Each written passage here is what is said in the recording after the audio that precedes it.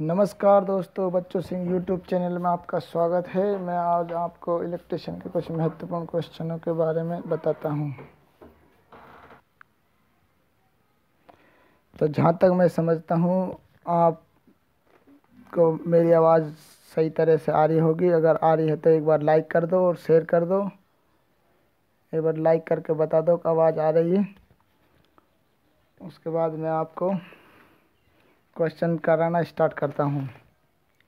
तो जब सबसे पहला क्वेश्चन है, जैसे स्क्रीन पर आप देख पा रहे हैं भाई इलेक्ट्रॉन का प्रवाह क्या कहलाता है? विद्युत धारा। स्थितिक विद्युत की खोज किसने की थी? थेल्स नामक वैज्ञानिक ने। तो ये दो बहुत महत्वपूर्ण क्वेश्चन बनते हैं। तो स्थिर विद्युत की खोज थेल्स नामक वैज्ञानिक ने की थी और चल विद्युत की खोज वोल्टन नामक वैज्ञानिक ने की थी। ठीक है ना? तो इनमें कभी एक क्वेश्चन आता है तो कंफ्यूज हो जाता है कि हमने पढ़ा तो था यार क्वेश्चन चल विद्युत की खोज किसने की थी?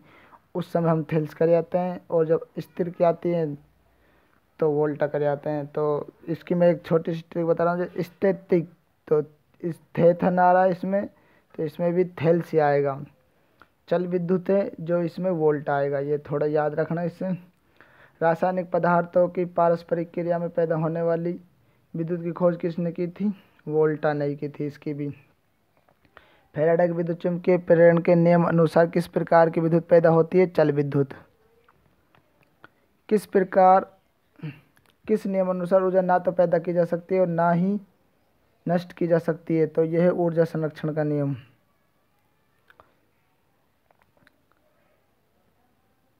ऊर्जा संरक्षण का नियम ई बराबर एम सी स्क्वायर लेकिन विद्युत उपकरणों का निर्माण, अनुरक्षण और मरम्मत करने वाला व्यक्ति विद्युत कार कहलाता है, यानी विद्युत से, यानी इलेक्ट्रिशियन विद्युत संपर्क में आए व्यक्ति को छुड़ाने के लिए सबसे पहले मेन स्विच बंद करना चाहिए। मनुष्य को झटका लगने के लिए न्यूनतम वोल्टेज कम से कम 90 वोल्टेज अगर है तो उसके बाद 90 वोल्टेज से झटका लगना स्टार्ट होता है। लगभग विद्युत धारा की चाल कितनी होती है? तीन गुणा दस की पावर आठ मीटर पर सेकंड होती है। विद्युत आघात से होने वाली शारीरिक क्षति किस पर निर्भर करती है? तो धारा और धारा के मान पर दोनों पर निर्भर करती है। किसी दुर्घटनाग्रस्त व्यक्ति को डॉक्टर के आगमन से पूर्व किया जाने वाला उपचार क्या कहलाता है? तो हम को सभी पता है कि प्राथमिक उपचार कहलाता है। कृत्रिम श्वास की प्रमुख विधि कौन कौन सी है? इनसे बहुत महत्वपूर्ण क्वेश्चन बनते हैं। तो ये तीन विधि है, सिल्वेस्टर विधि, सैफर विधि और मुख से मुख विधि। अब इनमें अगला क्वेश्चन ये बनता है कि भाई कृत्रिम श्वास विधि, किस विधि में आदमी को पीठ के बल लेटाया जाता है? किस विधि में सिर के बल लेटाया जाता है? तो पीठ के बल, है ना? सीने के बल, ये दो प्रकार के हैं तो इनके मैं आपको ट्रिक बता रहा हूँ थोड़ी। तो भाई जैसे सेफर विधि में आदमी को किसके बल लेटाया जाता है? तो सेफर विधि में पेट के बल और सिल, सिल्वेस्टर विधि में आदमी को पीठ के बल लेटाया जाता है। और मुख से मुख विधि में भी पेट के बल लेटाया जाता है। तो इसकी थोड़ी याद करने की ट्रिक एक ये सम, इस प्रकार समझ सकते हैं, इस प्रकार याद रख सकते हैं हम कि भाई जैसे अगर हमें को पेट के लिए कुछ मिल जाए खाने के लिए तो हम सेफ़ है। मतलब सेफर विधि समझ सकते हैं इससे हम। कौन सी विधि समझ सकते हैं? सेफर विधि। इसमें सेफर विधि आएगा। कौन से में? पेट के बल लिटान के लिए सेफर विधि की आवश्यकता होती है और बाकी दोनों विधि उसमें पीठ के बल लिटाया जाता है। ऐसे हम इसको याद रख सकते हैं। कंफ्यूज हमारा मिट सकता है इसमें। मुख से मुख कृत्रिम श्वास विधि की आदमी किस प्रकार लिटाया जाता है तो इसमें तो हम वैसे भी देख सकते हैं कि जब मुख से मुख विधि हमें लगानी है तो हमें पीठ के बल ही लिटाना पड़ेगा उसको। कृत्रिम श्वास की सर्वाधिक प्रचलित हुए आसान विधि कौन सी होती है? मुख से मुख विधि। एक बार कृत्रिम श्वास देने में कितना समय लगता है? दो से तीन सेकंड। दो से तीन सेकंड। कृत्रिम श्वास विधि में श्वास देने की दर कितनी होती है?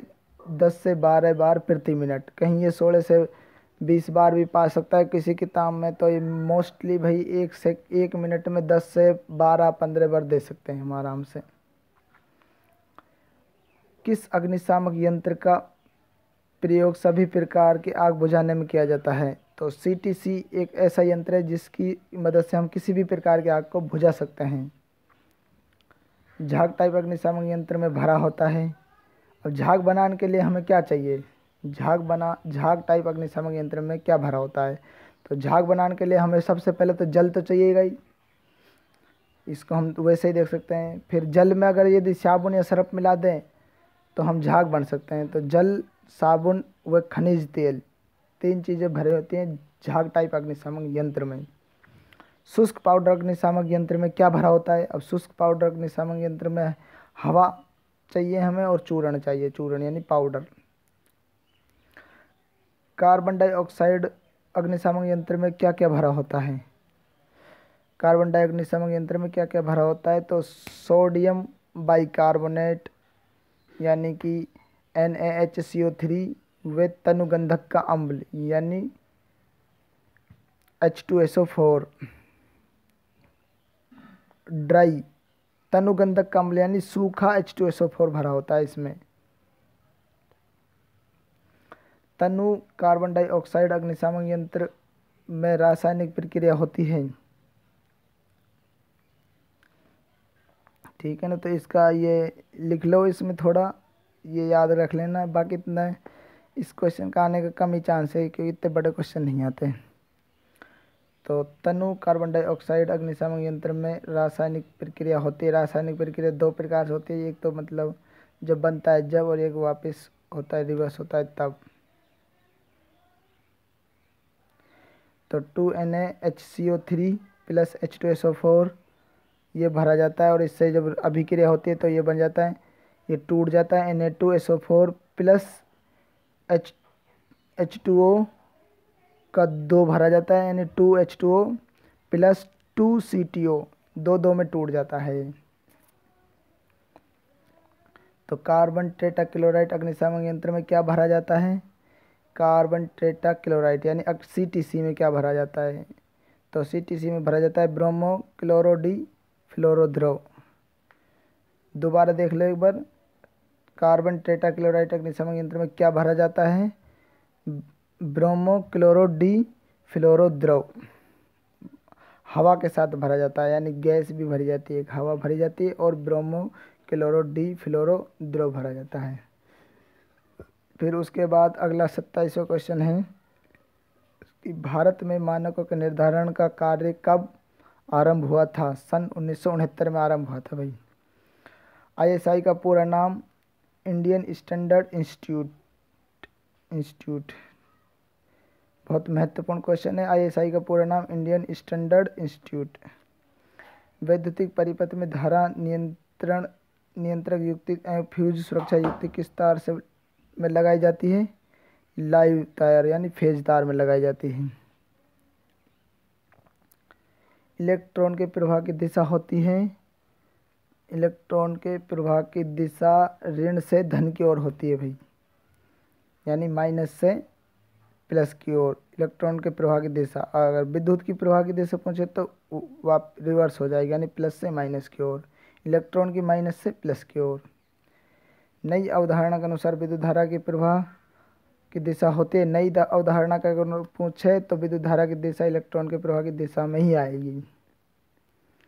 विद्युत धारा का मात्रक व प्रतीक क्या होता है? एम्पियर। विद्युत धारा का मात्रक तो होता है एम्पियर और इसका प्रतीक होता है आई।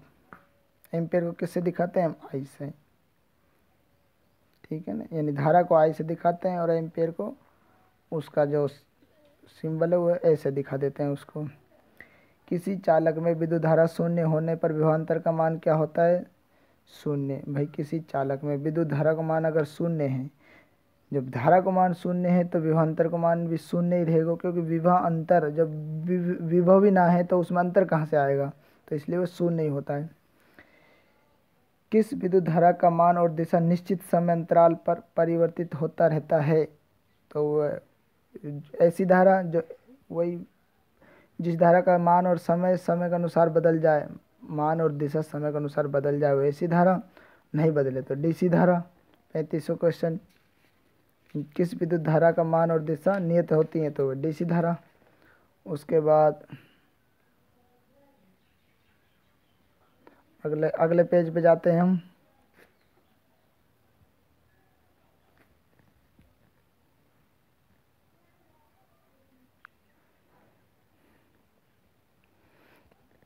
देखो, वीडियो को लाइक और शेयर करते रहो और कॉपी में नोट करते रहो। ये है सारणी आप देख पा रहे हैं इसमें। सुरक्षा संकेत सारणी है तो ये हमें कैसे याद करनी, कैसे क्वेश्चन बनते हैं इसमें? तो जैसे संकेत, आकार और पृष्ठभूमि का रंग और आकृति का रंग। ये चार खाने बने हुए हैं इसमें तो संकेत का नाम है भाई, जैसे सबसे पहले नंबर है निषेधात्मक संकेत। तो निषेधात्मक संकेत किस आकार में बना होता है? ऐसे पूछा जा सकता है। तो कौन सा आकार में बना होता है? लाल वृत्ताकार, यानी लाल गोले में बना होता है। अब लाल गोले में तो बना होता है, लेकिन उसकी पृष्ठभूमि जो, यानी कि वो जो गोला होता है, वो तो सफ़ेद रंग का होता है, लेकिन उसमें जो आकृति का जो रंग होता है वह काला होता है। ठीक है? और उसकी जो बॉर्डर होती है, वो होती है लाल, वृत्ताकार बॉर्डर क्रॉस वायर बॉर्डर लाल होती है और उसमें जो बीच में से क्रॉस जाता है, वो भी लाल ही होता है। लाल वृत्ताकार। कौन से निषेधात्मक निषेधात्मक यानी मना मना होती है और मना करने के लिए हमें रेड सिग्नल जैसे ही जला तो हम नहीं जाते, बत्ती नहीं क्रॉस करते, उसी प्रकार इसको हम याद रख सकते हैं। उसके बाद है अनिवार्य संकेत। अनिवार्य संकेत यानी वृत्ताकार संकेत। वृत्ताकार संकेत होता है नीला। कौन सा रंग क्या होता है? नीला रंग का। और इसकी आकृति की आकृति की पृष्ठभूमि होती है ना, जो वो नीली होती है, और आकृति का रंग होता है जो सफ़ेद होता है। जैसे दस्ताने बने होते हैं। अनिवार्य संकेत भाई दस्ताने पहनने ज़रूरी है जैसे कहीं पे।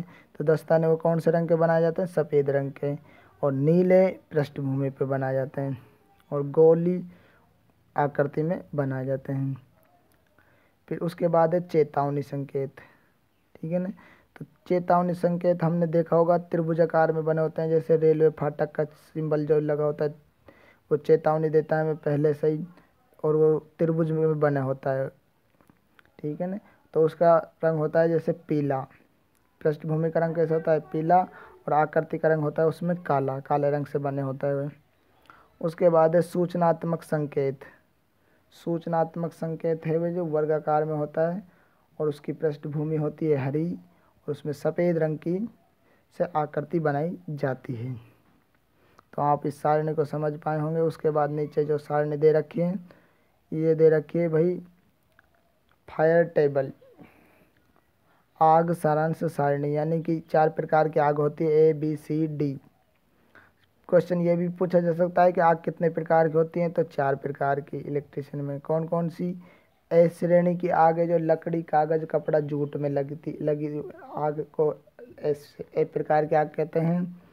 और उसको बुझाने के लिए कौन सा यंत्र चाहिए? भुजाने के लिए तो पानी से भुजा सकते हैं इसको हम। ऐसे भी पूछा जा सकता है, उल्टे सीधे क्वेश्चन पूछते हैं आजकल कि ए टाइप की आग को किससे भुजाया जाता है? तो जल से। या फिर ऐसे पूछे जल को किस श्रेणी की, जल के माध्यम से हम किस श्रेणी की आग को भुजा सकते हैं? तो ए श्रेणी की आग को। तो ये हमें बहुत ही महत्वपूर्ण सारणी में आपको दे रहा हूँ, सारणी बना के। तो हम, मैं समझ रहा हूँ कि आपको अच्छी तरह से समझ आ रहा होगा और अच्छी तरह से याद कर लेना, ये बहुत ही महत्वपूर्ण है आपके भविष्य के लिए और आने वाले आईटीआई एग्ज़ाम में भी और उसके बाद कंपटीशन एग्ज़ाम देते हो, देंगे तो उसमें भी ये सारणी बहुत ही लाभदायक सिद्ध होगी आपके लिए। उसके बाद बी प्रकार के आगे जो डीजल, पेट्रोल, केरोसिन और ठोस ज्वलनशील पदार्थों में, यानी कि पेट्रोल, यानी लिक्विड में लगी हुई आग और ठोस ज्वलनशील जो पदार्थ है, उनमें लगी हुई आग जो बी श्रेणी में आती है और इसको बुझाने के लिए कार्बन डाइऑक्साइड, यानी सी ओ टू झाग टाइप की आवश्यकता होती है। उसके बाद है सी प्रकार की आग, यानी गैस में जो लगी हुई आग को हम सी प्रकार की आग में जाते हैं और इसको बुझाने के लिए शुष्क पाउडर चाहिए, हमें शुष्क चूर्ण चाहिए। उसके बाद बिजली के उपकरणों में लगी आग या बिजली में लगी हुई आग को हम बुझाने के लिए सी टी सी का उपयोग करते हैं। ठीक है ना? तो मैं आप, मैं सोच रहा हूँ कि आपको ये अच्छी तरह से समझ में आ गया होगा। अगर ये आपको अच्छी लगी तो इसको लाइक करो, शेयर करो और मेरे चैनल को सब्सक्राइब करो। और कम से कम तीन Facebook group WhatsApp group, Telegram में कहीं पे भी इसको शेयर करो और अपने छोटे जो बहन भाई हैं आईटीआई कर रहे हैं उनको। इस वीडियो को पहुंचाओ जिसको, जिसकी वजह से वह अधिक से अधिक लाभ उठा सके। और मेरी आपसे एक रिक्वेस्ट है कि कोरोना चल रहा है, इसमें आप अपने घर पर ही रहें और स्वस्थ रहें। जय हिंद।